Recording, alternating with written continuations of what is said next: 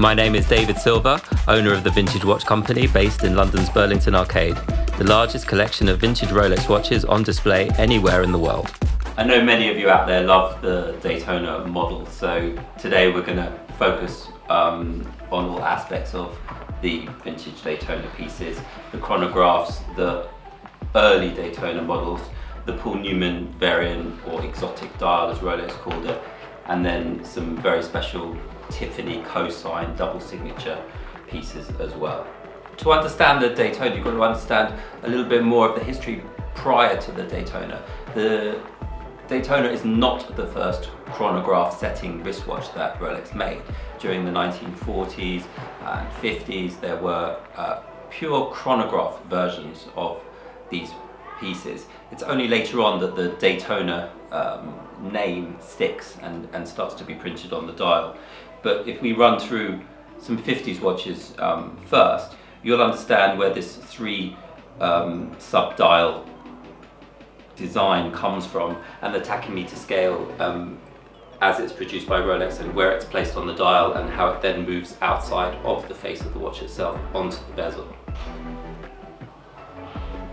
So 1950s pieces had a totally different styling altogether.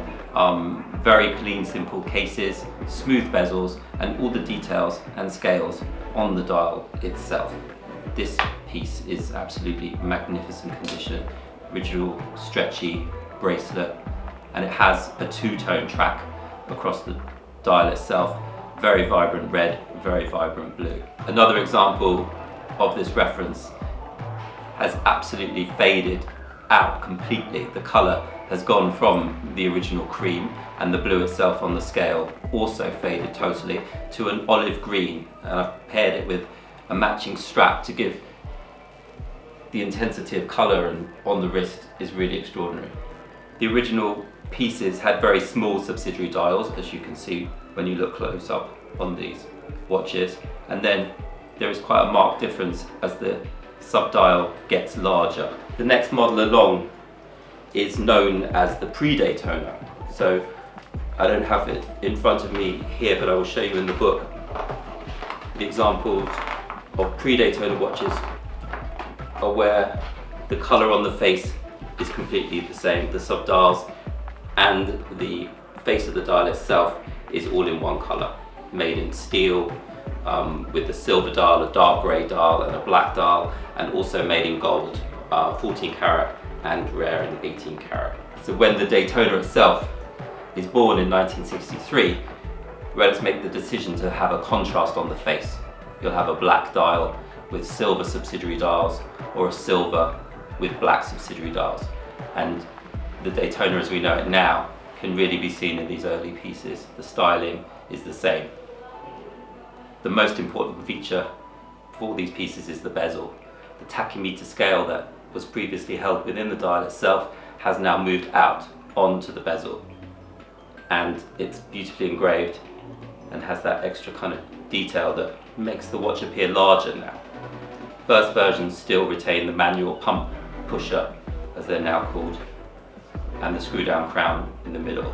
So we've seen the early chronograph pieces from the 1950s reference 6034, 6234, talked about the pre-Daytona model that comes next, reference 6238, it's all one colour still on the dial, moving into the first Daytona model, 6239, black dial, silver dial, with now the tachymeter scale on the bezel.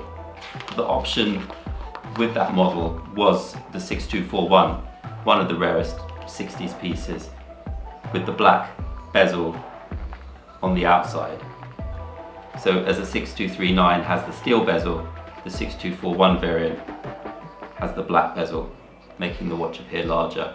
The next big invention, if you like, for the Daytona pieces was the making the pushers themselves waterproof. The idea that the uh, water would get through the actual um, pushers themselves, Rolex designed a screw down operating pusher. And these models start as a 6240 here in front of you, an early 6265 model, silver dial, black registers, and the steel bezel. The early pieces are known as Sigma dials.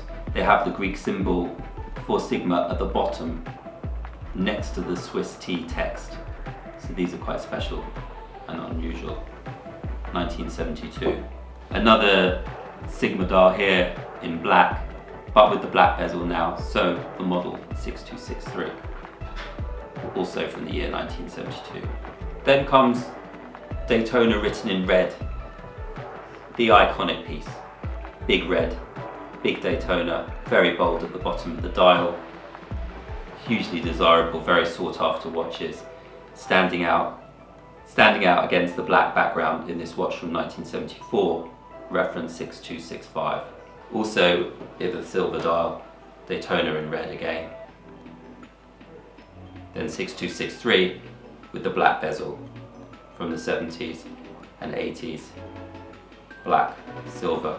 So the 6263 and 6265 pieces as we've just seen in steel were also made in gold, so important to show you champagne dial black registers, black dial champagne registers, then again the 6263 model with the black outer bezel. So now for the special pieces, the exotic variant of the Daytona, um, later known as the Paul Newman, and some double signature Daytona models.